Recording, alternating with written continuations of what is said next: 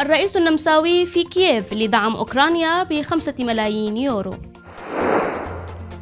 نيهاما يرحب بتبني مفوضية الاتحاد الأوروبي رؤية النمسا لحماية الحدود. وزارة الصحة تعلن عن مراحل إنهاء قيود كورونا نهائياً. قوات الكوبرا تعتقل أفغاني متهم بقتل عراقي في فيينا.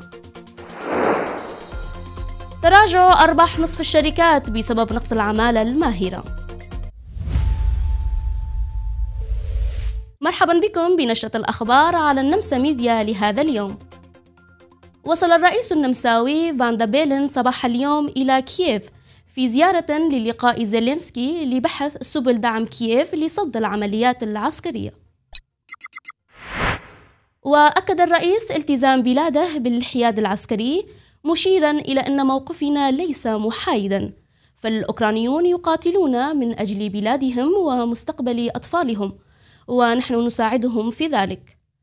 وقالت وزيرة الطاقة غفيسلا المرافقة للرئيس سنخصص خمسة ملايين يورو لصندوق دعم الطاقة الأوكراني للمساعدة في استعادة البنية التحتية التي تضررت من الهجمات الروسية.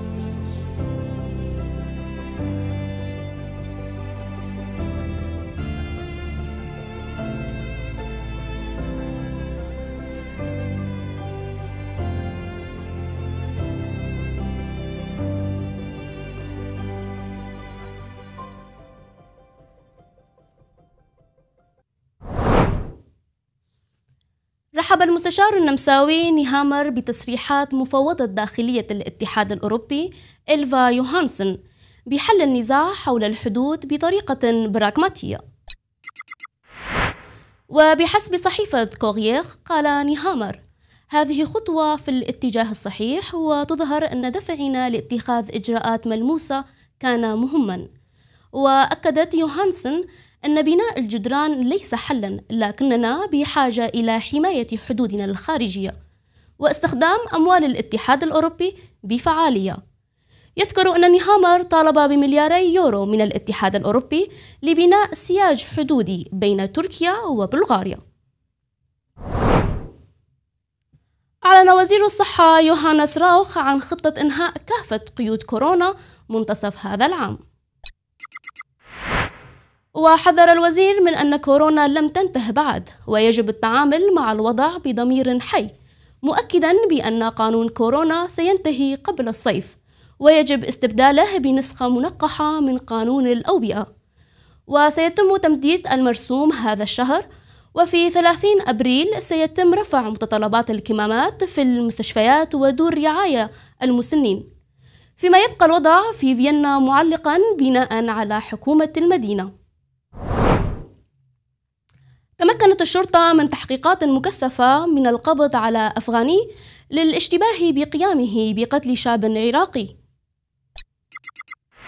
وبحسب وكالة الأنباء النمساوية أفادت الشرطة أنه تم التحقيق مع الأفغاني في سياق بحث مكثف.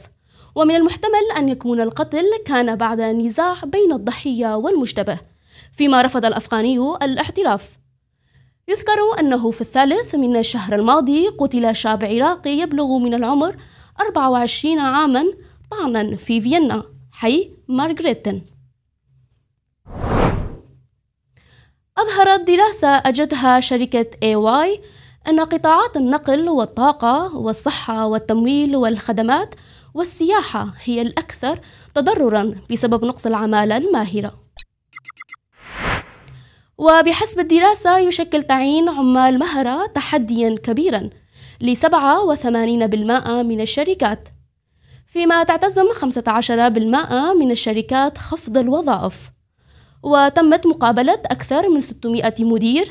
تبين أن 51% من الشركات تشهد انخفاضا في المبيعات بسبب نقص الموظفين. وقال إيريش لينا المسؤول في واي لا يكاد يوجد قطاع في سوق العمل النمساوي لا يحتاج حاليا إلى موظفين.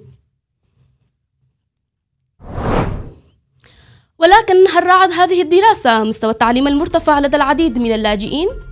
كانت هذه نشرتنا لهذا اليوم. شاركونا بآرائكم وتعليقاتكم. كنت معكم أنا بينار الحامد. أمسية سعيدة وإلى اللقاء.